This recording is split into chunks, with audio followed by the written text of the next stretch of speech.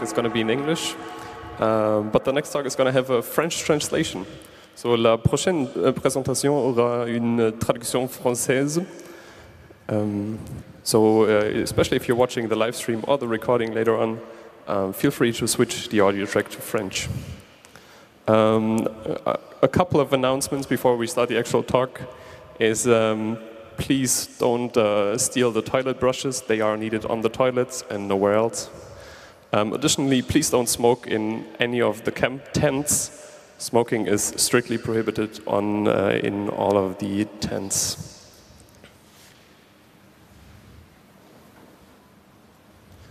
All right, since we're um, right on time to start this next talk, I'm going to keep this introduction uh, short. I'm uh, very happy to uh, introduce to you Molly Wilson and Eileen Wagner, who are going to talk about um, Beyond the Pile of Knobs, re redesigning NoScript's UX.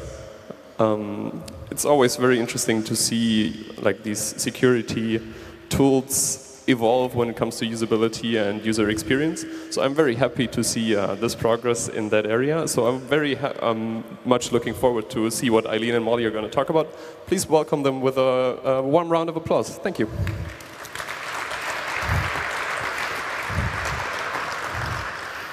Hi.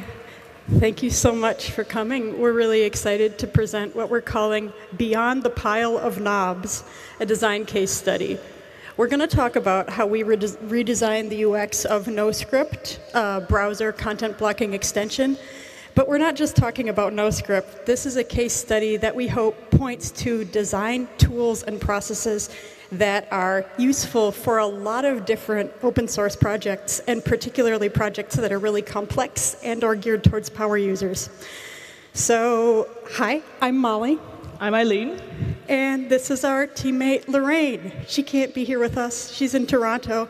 Hi, Lorraine. Hi, Hi Lorraine. we, first question you may have when we redesign NoScript is what about that logo? The NoScript logo is famous. It's an icon. It's been around for a while. Well, ladies and gentlemen, new NoScript logo. Hey, yeah. Same S, new facial expression, I don't know. This is how the NoScript UI used to look. Very small text, looks a little bit outdated, it's not super consistent. New UI, whoa, grayscale, consistency, rounded corners. You might call it clear, clean, kind of modern, right? Wow, it looks good. Yeah, we're very pleased with ourselves. This is the least important part. When we talk about design, making it look nicer is not what we are talking about. That's the icing on the cake. That's what you can do once you have done all of the other steps that we're going to talk about. We're not talking about the UI changes, we're talking about the deep methods and processes that you need to use before you can even embark on doing that. So we're going to show you really how we got there and present tools and methods that you too can use for designing open source projects. Right, but before we do that, just uh, a couple of words about why we're doing this. Um, the short answer is NoScript is great. NoScript is awesome, right? NoScript today, um, it's been around for some time now. It's actually, it was born in May 2005, so it's one of the older browser extensions out there. Um, it currently has 1.5 million users on Firefox, 50K users on Chrome, growing plus, of course, all of the poor, brow Tor browser users, which last time I checked was around 2.5 million officially. Um, of course, a jamming key. Here we go. Can you help me out there? Thank you. Um, it's not just used by you know, what we think of you know, privacy advocates, activists, researchers. It's actually used by governments and corporations alike. Um, a lot of the people that we reached out to during our testing phase, for example, were you know, working for governments. Ah. of course, what also happens is um, the clicker doesn't work. Should we just do this instead? Um, what also happens is NoScript has actually contributed to a lot of other security browser extensions, such as HTTPS everywhere. Um, it was the first and is now, in fact, also the only protection, the client side protection you have against cross uh, site scripting attacks. And the last thing I want to mention here is Douglas Crockford, who is a main contributor to JavaScript itself, who actually invented the JSON format, also recommends using NoScript. Right? So NoScript is not something that people who hate JavaScript use. NoScript is something that people who love JavaScript also use. Um, the things that maybe right, maybe not that, huh? You. Yeah, let's just. Um, the challenges for NoScript that we see are not just challenges for NoScript. They're actually pretty common for a lot of projects we see in the free and open source software scene. Um, NoScript is run by one developer and a whole community of enthusiastic users, right? So it's one person who built this at some point, and then a lot of people start talking about it and giving feedback.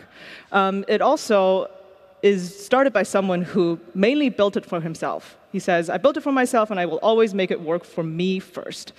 That's where a lot of the projects we work with actually come from. What they also think is, I want everyone to use these tools, right? Everyone deserves the privacy and security that I have. So a lot of FOSS projects want to be there. But of course, there is a tension, right? Because if you're always building for yourself first, then how can you make sure everyone else is using it when everybody else has very different needs and is not necessarily a developer? So what happened a lot is um, there were a lot of feedback and you know, feature requests. There's like things that came in over the years that were really unstructured, and NoScript changed based on these sort of unstructured feedback and was adapting to it very quickly. Um, over, again, 14 years, it has you know, developed into a huge project that has many different aspects to it that don't necessarily connect as smoothly as you would want it to. Um, so what it actually leads to is something that Molly calls... something I call McMansion design. Yeah. Um, I'm from the US, and in the US, we have this genre of house called a McMansion, which is basically a house with design feature creep. It's like, I want this feature, I want this one, I want this one too. And you end up putting all of these features on, making your house as big, ostentatious, and feature rich as possible. But the whole thing together doesn't look good and maybe isn't even that usable. There's this great blog called McMansion Hell that points out how exactly this works in architecture. Here we got, pretty sure this window opens up to either nothing or a very short and tiny room. Hey, we have some space left over, why don't we attach a smaller yet uglier house? If you also are a fan of good and bad architecture, definitely check out McMansion Hell. So there's not an option not to design whatever you're working on. There is no such thing as no design. When you are building it, you are also designing it. So what we'd like to introduce is the process, the methodology, the method behind the madness that we use to make design make sense overall. Here's what our process looks like in four big steps. First, we research. We learn about the problem space, we learn about the existing tool, about the community, about the people who use it. What do they need? What's going on there? And then we synthesize that down to a statement that clarifies what is it we're actually going to do, what are the core problems we're solving, and what is not so important to solve right now. This is also about prioritization. Then we prototype, and that prototyping is often rough, quick, dirty. We want to do this as cheaply and quickly and iteratively as possible, and then usability testing, test with users. So it's really important that this goes fairly fast. It's important that this is not actually super um, expensive, and it's really important that this is centered on the community, it's centered on the users. So we focus on user needs by conducting user interviews at the beginning, by doing usability tests at the, as soon as we have a prototype to test, and getting rich qualitative feedback throughout. Our goal is that this tool makes sense to people. Why are we building it? Because we want people to be able to use it. We want to know what do people want, what do people need, and what can people actually use. So for example, in our interview phase, we interviewed two novice users and four power users, our classification, not theirs. And we got rich qualitative feedback. Example, one of our novice users said, if I hadn't found the right thing to try to turn off after the second try, I am just going to turn NoScript off. One of our power users described how they rely on NoScript. NoScript is the last line of defense in my browser. I trust it to be working in my interest at all times. This is a lot more than we would have found out from asking people, do you like NoScript, yes, no? Giving them a survey, collecting some kind of data, which NoScript doesn't do and will never do. Um, we, this is why we chose to focus on this rich qualitative feedback with actual people. We then analyzed that by collecting these quotations and putting them on a virtual post-it note board. We organized them by theme. We figured out what we thought were, we did some prioritization, talk more about that in a bit, and we built rough prototypes going from paper to wireframes to sort of a click-through prototype that gives you an idea of the interaction. We tested this with four people in total at different stages. We gathered feedback. And that's how we did it. Now we want to dive more into what we did and specifically how this looks for NoScript. If you're thinking, yeah, yeah, yeah, user-centered design process, I've heard that before, but it's not applicable to us. This is too complicated. This is too technical. This is for power users. This is exactly what NoScript is. So we're going to show you how this works in that context. First, we're going to talk about framing. So what does this tool do and who does it do that for?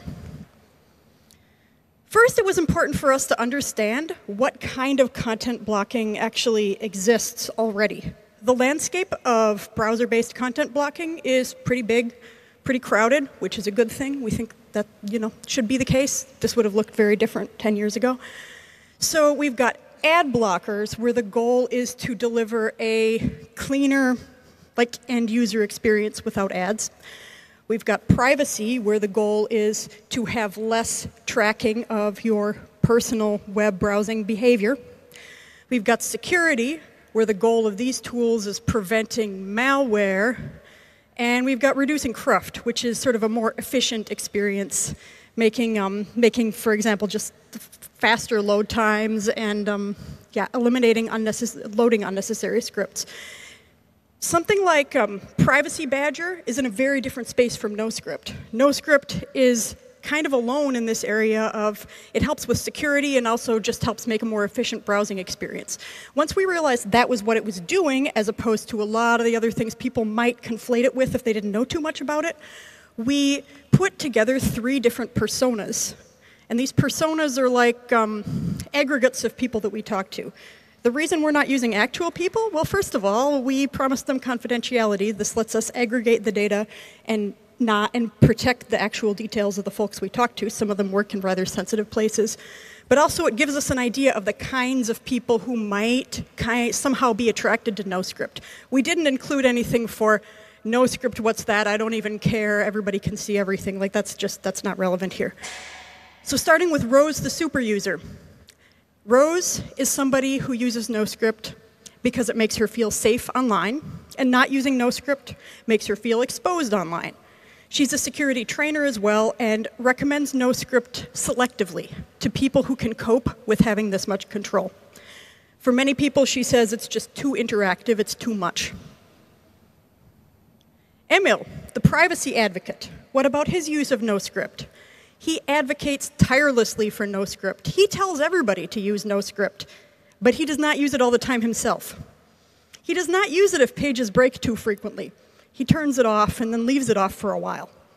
And he really, really wishes it were easier to use because he's going around telling everybody else to use it. He knows it's the best. His words. Next. Chris the Curious.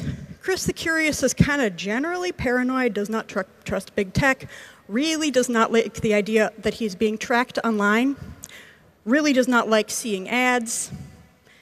However, he tried NoScript once, he could not figure it out, and he uninstalled it. He would love NoScript to decide which scripts are unsafe and block them automatically. He doesn't like having to make this decision every time a page loads. So, who do we prioritize? It might be important to know that NoScript is never ever going to provide a block list. That's just not something this tool does. NoScript is absolutely not interested in collecting user data and really not interested in using any kind of machine learning on aggregated data to be smart. NoScript is going to be dumb. NoScript, that's just that's part of its DNA and will always be the case. So, who is NoScript for? NoScript is for Rose the super user. It's not for everybody. And we made the decision fairly early on to deprioritize these other users. Next. So, what is what does NoScript really doing for whom? It keeps you safe. Nah, not really, not if you don't know how to use it. What about NoScript makes safe browsing easy for everyone? Hmm, for those other two personas, probably NoScript is not actually the way to keep them the safest because of their knowledge and behavior. Next. Does it make safe browsing easy for power users? No, um, I wouldn't say NoScript makes anything easy. What does NoScript do? It buys power users time to make informed decisions about who they trust. We really need to know this in order to do a good job designing it. So, NoScript is a tool for power users. It's a tool for creating friction rather than removing friction. It is strict by default, and it is a tool that you have to interact with every time from the beginning. It's not a set and forget kind of tool. This makes it basically the Sven Marquardt of content blocking.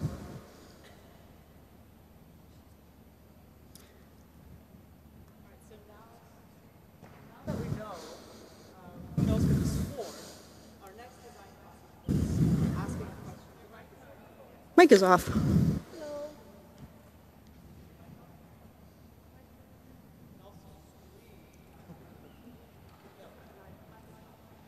Switch mics?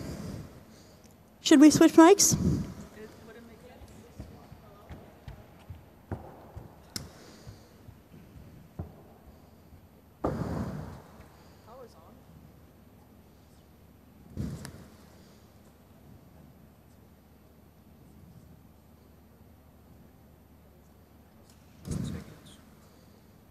use, um, we have another microphone ready, I think.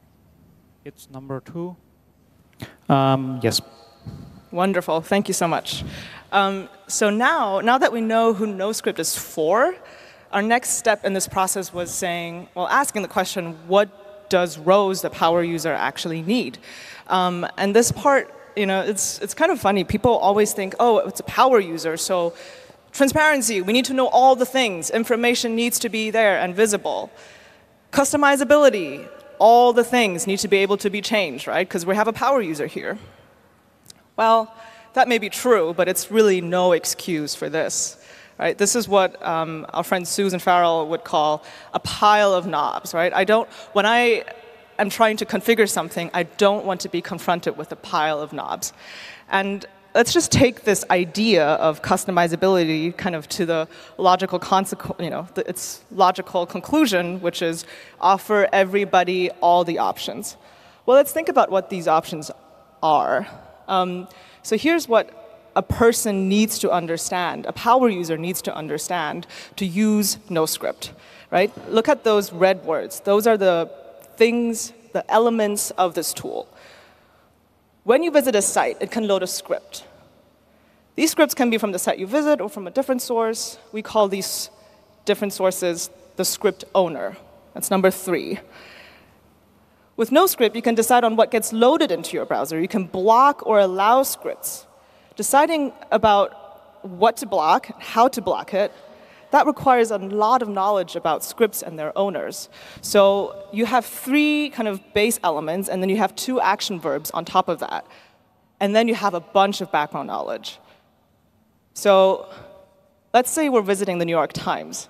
This is actually from the New York Times. I picked out um, seven scripts that you could actually load into your browser when you visit the New York Times. You can see there's NewYorkTimes.com, um, static01.newyorktimes.com, could we just show, yeah, that's, um, that's the first party scripts, right? So scripts actually owned by New York Times. Um, note that, you know, NYT.com is also owned by New York Times, but the URL is actually not exactly the same one, right? Um, and then we have some Google products. We have news.google.com. We have Google Tag Manager.com. Again, not the same URL.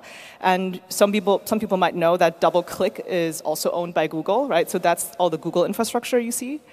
But then there are also types of script. You know, you know that the first three might probably be content, and then after that we probably have some trackers.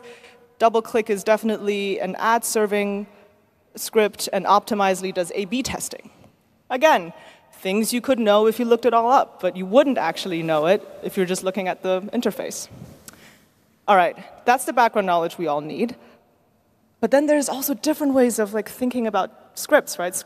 NoScript itself comes with eight different types of script, right? It categorizes normal JavaScript, and then you have all the media contents, the video and audio files, object, frame, font, WebGL, fetch, other.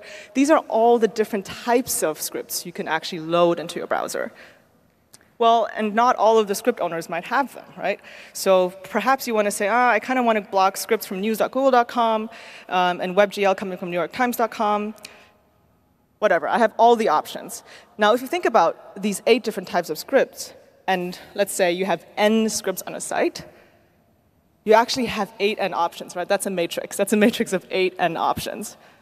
And in fact, if you think about the possible combinations of those, again, taking block and unblock as like the two dimensions you can work in, you have 2 to the power of 8n. That's like all the different combinations you can have of blocking scripts. Again, New York Times doesn't have just seven scripts, it has 27. So you have 260 options just going on a, on a site.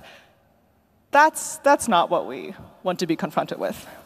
Of course, some of these options are going to be more salient than the others. So um, maybe I only want to block everything coming from news.google.com. Maybe I only want to block frames. Maybe I only want to block things that are not first party or affiliated. Maybe I want to block or allow everything or nothing because I trust New York Times completely. Like there are many different ways to carve out this logical space. And it's not clear at all, you know, what are the most salient ways to do that. All right, on top of that, it's not just blocking and non blocking, right? we have, we can do blocking by location. We can have blocking for this tab, for this whole window. Uh, we can have blocking time-based blocking, right, for this session only, for the next five minutes, for this week, forever. We can, we can have other things like it's on, my, it's on my work device, so I'm going to block, I'm going to be a little bit more um, you know, careful about what I allow on my work device. Um, or perhaps I want to say only these sites get blocked um, with those scripts, and those sites, you know, I don't care about. Possible too. So before you know it, you're just visiting a site and you're just like trying to see some content. And before you know it, it's, a, it's you're playing a game of set, right? I don't know how many of you know the mathematical game, but it's like you're, you're calculating five, six, seven different dimensions of blocking, and really what you want is you just want to see the site. And that's not even fair to our power user. So what we did here, instead of thinking about possible options, is we started thinking about scenarios, scenarios of using a tool like NoScript. So we identified five different scenarios for when NoScript could come into play. One is normal browsing, so you're just, again, reading a news site. One we call quick browsing. So, you know, say you're making a payment online and things have to happen right this second and everything just has to work. You don't care about scripts or whatever. Um, the other one being we call dirty browsing, right? You're visiting a streaming site and you know everything on that site is going to be really, really evil. So you just want to like be most careful about everything. Um, social media use, right? So there is a case where, let's say, you want to block Facebook on all the sites you visit, except for, of course, when you are visiting facebook.com, where you need content from facebook.com, right? So kind of like a site-based blocking scenario. And then the last one is visualization itself. This is also something we found out from user research. So a lot of people use NoScript just to see how many scripts are on a site. That's something we didn't know before, and we realized that, oh, actually the visualization component, component is just as important as the blocking function. Now, based on those scenarios, you can kind of think about different task flows. So this is how NoScript wants you to use the tool. You go to a site. Does the site work? Yes. Yay, awesome. No, it does not work. OK, well, you have to enable individual scripts. You start with one, go with another, reload, see if it works. Does it work? Doesn't work. Try it again. Of course, what most people do is either they say, well, whatever, I really trust this site. Just load everything, YOLO, we'll be fine. Or they go to the other extreme, which is, I never wanted to see this site anyway, I'm just gonna close it. Um, so basically, kind of a defeat position, right? Um, another thing we found out in our user research is that people actually have a shortcut, which is trust affiliated scripts and you hope it works. So when I say affiliated, I mean kind of everything that's first party-ish, right? Um, can we just go back one? And I want to say, nowhere in this process, right, do you actually appreciate NoScript. Because when a site works, you say, yay, good site, no weird JavaScript stuff. And when it doesn't work, you say, oh, NoScript is blocking everything. I can't, like, NoScript interaction is by default frustration, right? There's just no way around it. It's always going to bad, like, damn you, NoScript. And thank you, NoScript, but damn you, NoScript, right? There's always going to be that feeling. And how can we design something that makes the feeling just a little bit less awful? Well, we tried. So if you look at the old UI, it has, it has a bit, you know, you have the, the list of scripts, and then you have the options to the left, and then on the top right corner, you kind of have like quicker global options, but they're not very prominent because really, you know, NoScript doesn't want you to do all that. So um, what we did is, ta-da, new UI. Um, it has a couple of things that we added. so first of all, we want to appreciate the kind of quick and dirty scenarios, right? So we have the quick and dirty options. Allow affiliated scripts just means allow first-party scripts, and if you have some affiliated scripts that you have saved before, you can do that. Um, Fine-tuning happens in the second part, right? There are script settings. You can still see all of the scripts that are loaded here. Um, you can configure the scope. This is something we wanted to do and wanted to make more visible. Uh, we have a new feature for site settings. So that means you can save settings for a site that you're visiting. So the whole scenario we were talking about, about Facebook, that's possible now. You can save specific settings for a site that you visit, especially those sites you visit frequently. We wanted to keep the panic button, the power button on the bottom left, because it felt like people sometimes just get too frustrated and wanted to quit everything. So panic button, is there if you need it. So that's kind of the core of what we did. We really thought about what are the options, what are the tasks, and what are the things that people really needed to do. But then we also looked at the interface and realized that a lot of the confusion just came from the visuals and the words that were being used in the old interface. Um, so first of all, I should say that's a very common problem. A lot of uh, software has that, right? There's a lot of technical jargon, inconsistent use of language, super ambiguous icons. This is, uh, this is from a classic Apple design. You know, have a little bomb, and then next to it you say, sorry, bomb, sorry. So what's the, what's the message here, right? It's very unclear. Um, so these are all things that we see in a lot of projects, and again, NoScript is no exception. But I want to point to some specific and I find interesting issues that we came across with NoScript's interface language. The first one um, is colors. So here's a design question. Should blocking be green? Good, do that, go, right? Or should it be red, which we associate with bad, don't do that. Stop. Well, if you go with the intuitive gloss, it should be, let me go back one? Uh, it should be go is green, right? So allow is green. Stop is red, block is red, right? Go, stop, allow, block. If you think about scripts, though, well, good scripts you want to allow. Bad scripts you want to block. Hmm, okay, I guess block should be red maybe. But then NoScript also really wants to recommend usage. A good security practice means block everything, don't allow anything. Bad security practice means, well, allowing everything. And now you're in the position where block is red for some people and green for other people. And that's just not a good place to be when you're trying to use colors here, right? It's only going to confuse people. No matter what you think the color means, people will always think it means something else. And so here's a, here's a situation where we said, okay, we don't want the red-green combination at all because that's only going to confuse people. Um, I should also say, of course, color shouldn't be the only indicator when you're designing things, right? We want to make things accessible, so color is always going to be used with caution when you're designing things. Okay.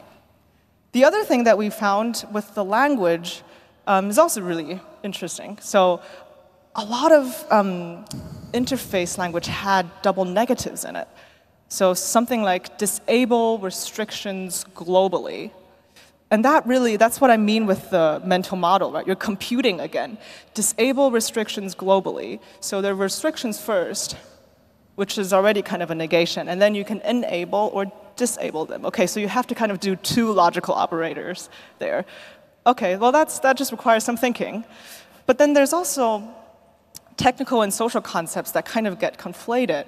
Um, I was talking up until now about blocking and allowing, um, but NoScript's interface actually uses trusted and untrusted. And again, this is the same, same issue, right? You're, actually, there's the blocking and allowing on the technical level, and the social thing is the trusting and not trusting something. And the question here is, well, if I'm allowing something, do I really mean that I trust it? Maybe, maybe not. But maybe I just need to allow it for now because I need to make an online payment. Why are you making me feel bad? right? So there's a lot of technical and social things that may or may not overlap. And sometimes, especially when you're designing for power users, it's probably better to just stick to the technical concept. The last thing I want to mention here is the tone. Um, this is something we found out in the user research. So again, we're looking at disable restrictions globally, parentheses, dangerous. Now, this novice user we had uh, just installed NoScript. And, and, they looked at us and were like, well, five minutes ago I was browsing without it. Putting dangerous here makes it sound like it's life threatening. Yeah. you want to be, you want to, you know, be a parent sometimes, but sometimes you just gotta let people do their own thing. So what we did instead, we changed the tone. We wanted to keep this idea of NoScript is making security recommendation and is also sufficiently warning you when you are in a bad place. But we wanted to do it a little bit more tongue-in-cheekly, right? it was supposed to be, it's not, oh, don't do this, you're in a dangerous territory, but NoScript is turned off. Good luck. You're on your own here.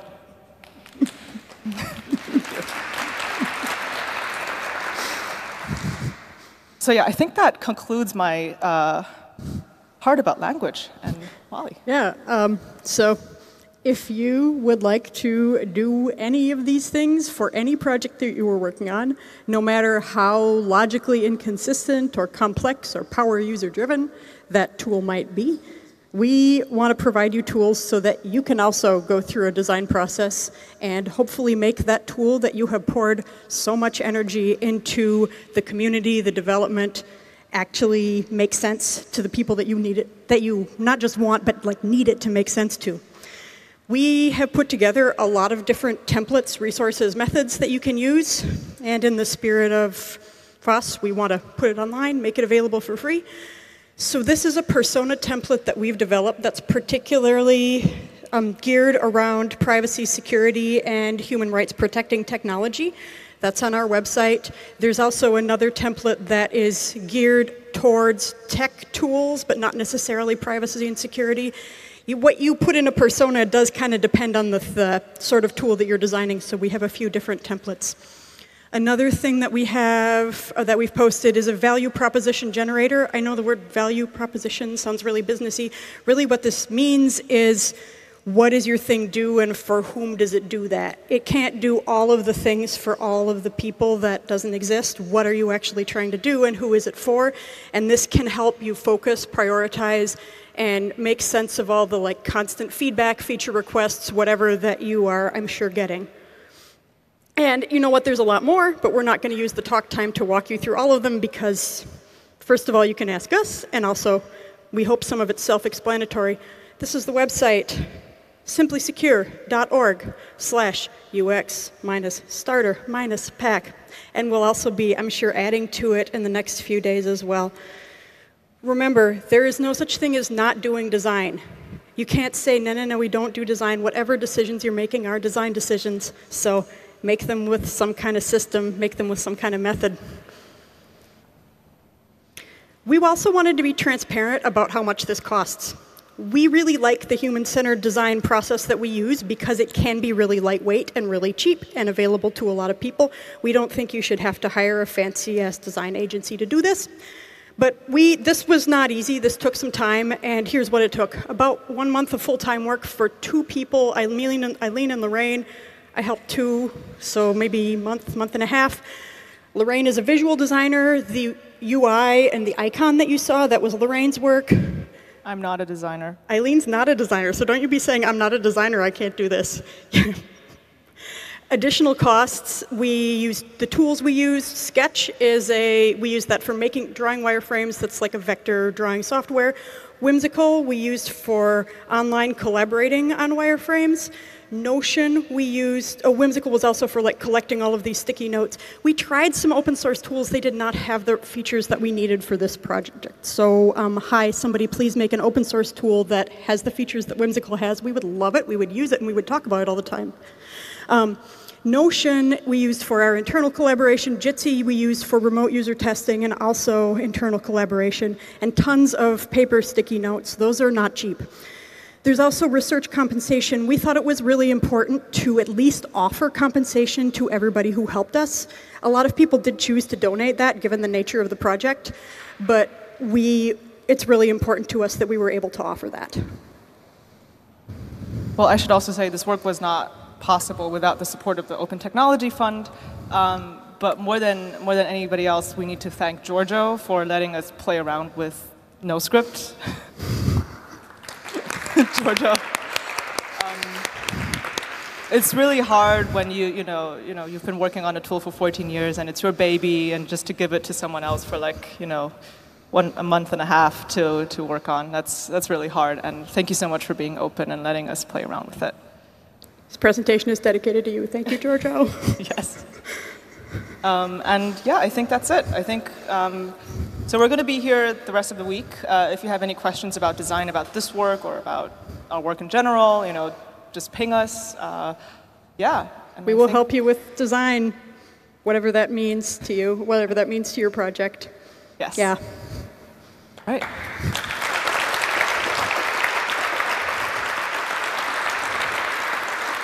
All right. Uh, thanks, thanks so much already, uh, Eileen and Molly. We have a couple of minutes left for questions. So if you have a question for either or, either one or both of them, please come to one of the microphone angels at the front or in the back and ask your question. I think we'll start with the, the lovely um, person in front. Thank you. Uh, thank you so much for the presentation. Um, I was just wondering, like, because I feel like lots of people's first interactions with NoScript came through like using Tor. So I was like, at what point in the process do you think about uh, sort of um, how different tools interact with each other, and do you have to create like a special persona for that, or how does that go?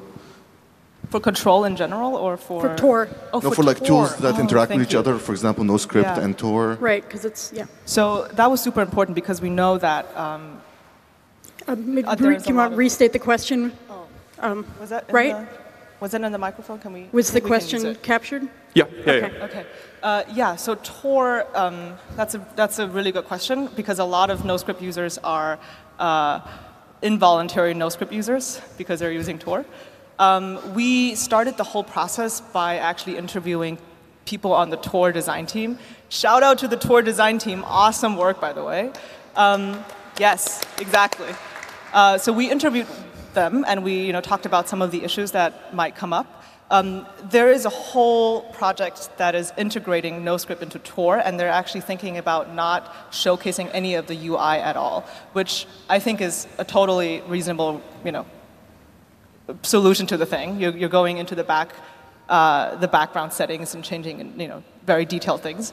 Um, maybe things are going to be different depending on the new UI and how it's implemented. But yeah, that's going to be a real project. In general, you actually, you absolutely should find out what other tools fit in people's workflow, right? You want to ask people what browser they are using, you want to find out what OS they are using, and if you find that it's like there's a huge chunk of people who use, um, who use Chrome, then you need to take that into account, how it interacts with the other Chrome extensions they're likely to use it with. I would absolutely work that into a persona. All right, then let's just continue with the question from the front. So this is a technical question. Um, in the UI, uh, I saw a allow affiliated sites button. How does that work without any lists? Because, for example, the static one dot New York Times isn't really connected to the New York Times domain. How does that work? Yes, that's a, that's a good question, a nice catch. Um, so what we're going to do is, by default, affiliated scripts are first-party scripts, so those, those things that you can definitely read based on the domain. And for the other ones, you can't do it you know, automatically. So what we're going to do is most likely offer some background. So when you install the next NoScript, it's going to have the affiliated scripts of the 10 most visited sites so that people have like less breakage on very basic browsing experiences. Um, and for the rest of them, what, we're, what we have imagined is actually people being able to import and export their own settings a lot. So when you actually do want to mark something as an affiliated script, you can share that with a wider community of people, right? So there is that feature built in. But the rest of it is all by hand. As we said, you know, NoScript is not a smart tool. It just does what you tell it to do, and it does it reliably. Yeah. Yeah, I was also interested uh, what uh, site-specific actually means. Um, probably the same. It's uh, yeah related to subdomains and so on. Right. So sub subdomains of the site, you mean? Or okay, because I think um, there's also another question about the site's specific scripts that are blocked or not blocked, right? So another way of looking at affiliated scripts is also these are this is the kind of profile of scripts that I want to allow allow or block whenever I visit a site. So that's a that's kind of a different but related feature. So another question, um, you actually had it on the um, on the list of uh, related projects, UMatrix. I think it actually fits in a kind of similar niche as NoScript does. Um, have you evaluated like how their user interface is? I mean, it's probably the matrix of a thousand switches that you were mentioning, but to me, it's it's actually the one I use. And have you checked how you could integrate maybe something like that into NoScript? Yes, you're absolutely right. I think the matrix is what got me thinking about the matrix to begin with, right? Like the, the, the eight N options I was mentioning before.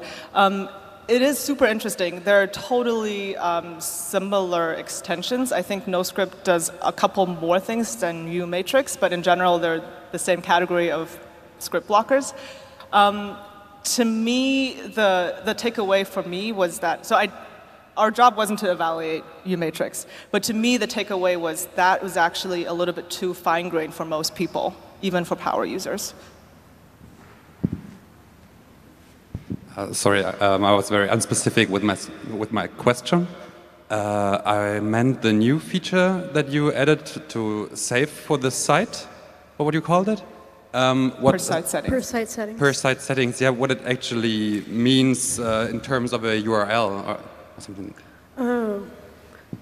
As in. Is it like a the top level domain, sub level domain, or is it like the, the full path of the URL? I think right now it's a full path of the URL. So whenever I am on Facebook.com or any subdomain of Facebook.com, uh, things are going to be implemented. Yes. So yes for subdomains. But I these think, are right? things that probably, like some of the default options, we're gonna like leave up to Giorgio to make the decision right. on that. Um, but the idea, that, so the funny story behind that, if I, if I can comment on this, is uh, this whole feature is supported by the backend and has been for a long time. And the only reason it wasn't implemented was because Giorgio couldn't figure out what the UI should look like, given how complicated everything else already is. So this is something we were really excited that we were able to implement. Okay, I think if we hurry up, we have time for one more question in the back. Thanks. Um, yeah, I was. You mentioned the color, and I was wondering. Um, of course, there are colorblind people that uh, have a disadvantage if you use color for your design, but then there's a whole bunch of people that greatly benefits from colors. And I was wondering if you have some sort of rule of thumb that you use. For example, I don't use colors at all. It's probably not what it is, but maybe there's something like if I use colors, I also use tool X or Y. You always want to be showing necessary information with color and one other dimension. That can be like positioning, that can be words, that can be icons. You just need to make sure that, that color is not doing all of the weight. You don't want, for example, to click on a red circle or click on a green circle because people don't have the like, in, in real life, we know that in a traffic light, if the top thing is lit up, it's probably red. If the bottom thing, it's probably green. The interface is new. They've not seen it before. They don't know that the left thing is going to be OK and the right thing is going to be cancel or the other way around. Oh my God, apps are always switching where OK is versus cancel, where yes is versus no. So just color is great. Do use color and usually green for yes, red for no. That didn't quite work in NoScript because the yes and the no, the bad and the good, the good and evil, the trust and uh, trust and block, like that just didn't, it didn't match up. So we actually didn't use this red-green pairing anywhere. You should feel free to use red-green pairings only when you're sure it makes sense, and always use also text or an icon. All right, um, that concludes the talk. So thanks again a bunch, uh, Eileen and Molly, for the super interesting talk. And I'm sure a bunch of people are going to give NoScript another try once um, they see the new UI. Thanks. Goodbye.